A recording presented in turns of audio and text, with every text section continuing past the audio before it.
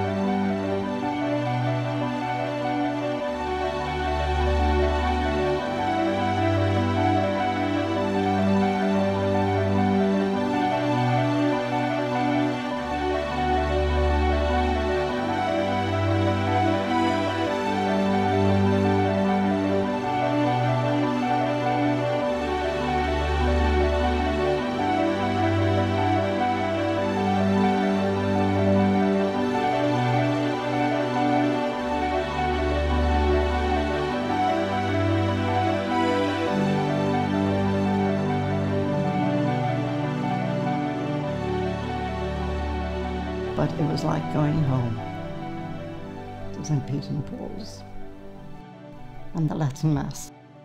And I've enjoyed every minute